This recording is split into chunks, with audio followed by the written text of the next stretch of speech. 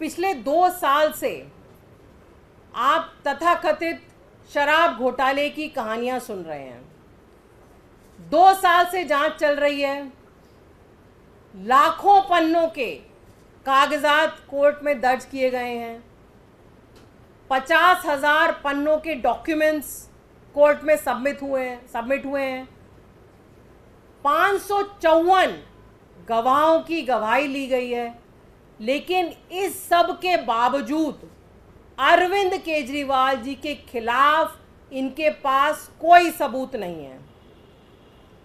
कुछ लोगों को लॉलीपॉप देके गलत बयान दर्ज करवाया गया है। कुछ गवाहों को इतना मारा गया, पीटा गया कि उनके कान से खून निकलने लगा। उनकी गवाही दर्ज करवाई गई है।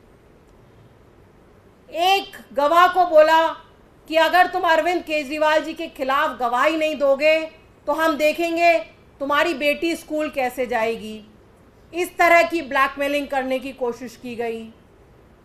एक गवाह की पत्नी ने सुसाइड करने की कोशिश करी और उन पे, इन सब लोगों पे या तो दबाव डाला गया या लॉलीपॉप दी गई, उसके बाद गवाही ली गई।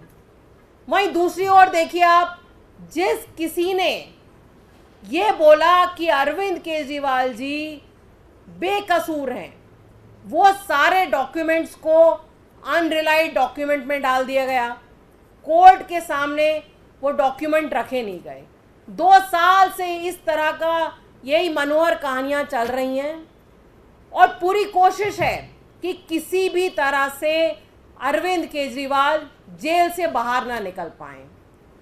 क्योंकि पूरे देश में अगर भारतीय जनता पार्टी को किसी एक इंसान से डर लगता है तो वो अरविंद केजरीवाल से लगता है।